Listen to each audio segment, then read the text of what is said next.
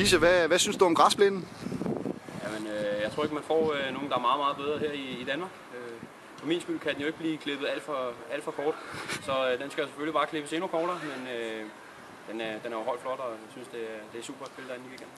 Hvad med sådan noget som, øh, hvis han klipper den i cirkler og i streger, har det nogen indflydelse på dit tempo, eller? Ja, jeg vil sige, når man møder op til kamp, så giver det måske lige et ekstra pift, når, øh, når den er klippet rundt i cirkel. Randers FC nu TV med Gardner, Preben. Preben, du står jo for, for græsset ja. herude. Hvor lang tid øh, har, du, har du gået og markedet med det græs for klubben? Øh, men det, har, det er femte sæson, jeg kører på. Jeg, øh, jeg kom lige herind, da de var i gang med at bygge. Ja. Øh, der var jeg ude for, kom jeg ude fra Flabro Skov, som var dyrepasser derude ved dårdyrene. Ja. Så kom jeg så herind, og så har jeg så taget en så herinde. Ja, ja, ja. der skulle jeg noget til. Så det, det er en 4-5 år siden. Ja. Det der med sådan en, en, en, en, en græsplæne, fordi for os, der er haveejere og sådan noget, øh, der ved jeg jo lidt, det er jo ikke ligegyldigt, hvilke type græsfrø og sådan noget. Er det noget specielt øh, græs, vi bruger derude? Eller? Altså ikke specielt, det, det er ikke noget specielt græs, det kan man alle få. Altså, men det, det er sorterne inde i det græs. Der er to sorter, vi kører meget på. Det er rejgræs og sangerap. Ja, Det er det mest lige stærke græs, der findes. okay.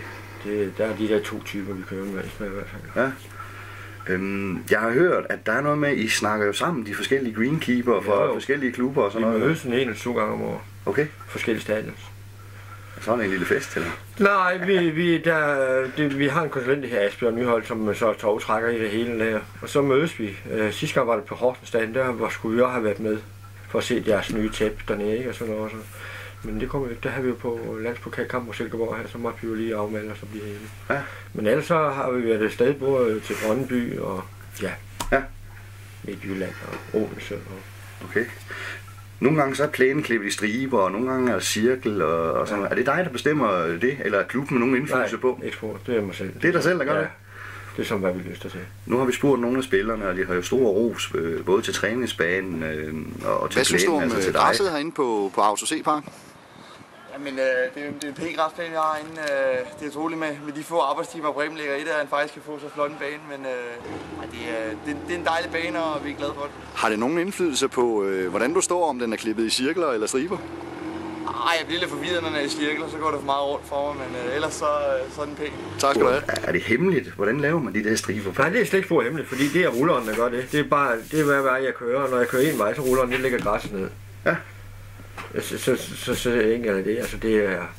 Og så når jeg kører den anden vej, så ligger den vej. Så ser du, så ser du med græs. Når du kører den vej, så ser du med græs, og så får du den lyse side. Og når du så går hen og kigger på den anden, der på lys, blind på den modsatte, så er det mørkt. Ja. Fordi du kigger ind i, i bladet. Så der, der er ikke... øh, Altså, Nej. og det der med at, lave forskellige mønstre. Jeg ved, Tom Jensen, han kan godt lide, når jeg laver cirkler og sådan noget. Ja, altså, så- ja. Men den er svær at lave cirklen, er det ikke? jo, eller? det er det lidt. Altså, det tager længere tid, fordi Ja. du skal vende så mange gange frem og tilbage, for du skal hele tiden udsat ja. hver gang. Så det tager længere tid. Altså, Er det så sådan, du sidder og lurer, hvad andre har gjort, når du ser fodbold? Du kan ikke lade være med at sidde og kigge Nej, græsset, jeg vil gerne... Altså, man vil gerne prøve at lave noget nyt og sådan noget, og jeg har da også prøvet noget sådan lige, men så må det vist det hele uge.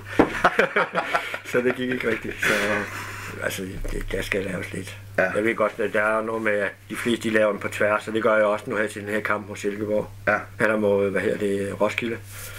Øh, og det er ligesom mere for at hjælpe linjevogterne også. Altså, de vil gerne have, at man har de tvære striver. Nå, så de det har noget at kigge efter. Ja. Så det, det bliver en så dag. Altså, sådan lidt. Men mange gange så er der også mere fordi, at det kommer på, hvad vi har kørt.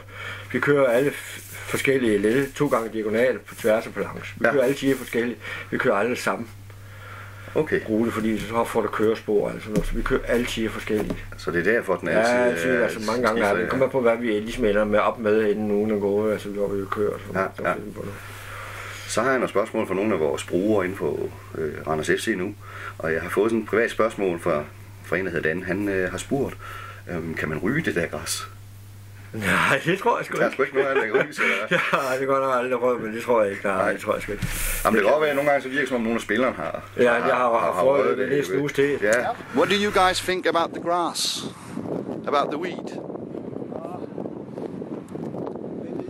Yeah, I think it looks uh, looks very good. Uh, maybe only before the game tomorrow, they maybe can cut it a little bit, a little bit more. But I think the grass is, is perfect.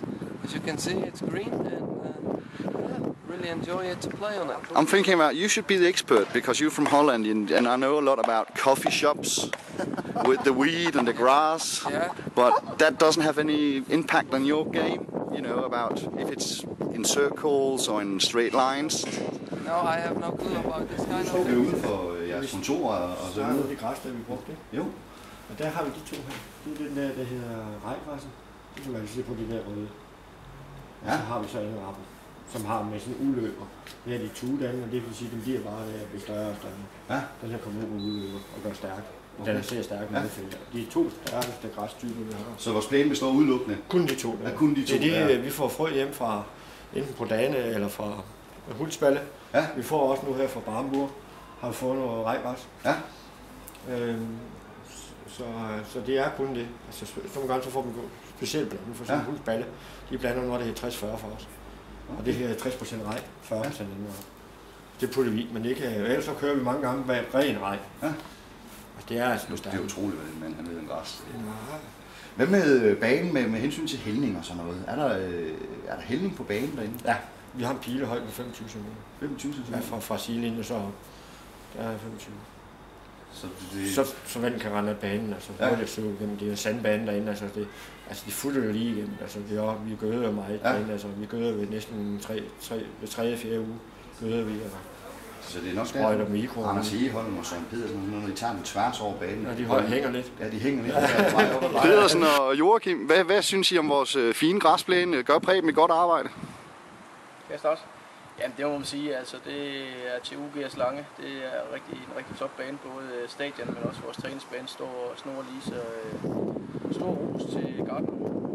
Hvad med dig, Joachim? Jeg er meget imponeret også af det arbejde, der er lagt en fantastisk bane. Jeg kan også se, at han går passer den.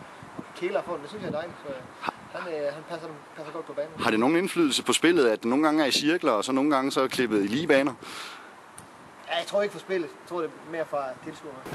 Så ja, Tak skal jeg man kan jo godt sige, at du er jo født og opvokset sammen med, med klubben her. Ja, Ja, faktisk. Øh, ja, altså, vi var med længere, der de rører. Der Ja. var, øh, Ja. Så, så vi håber, at det kommer op igen. Ja. Så vi får lidt sjovt.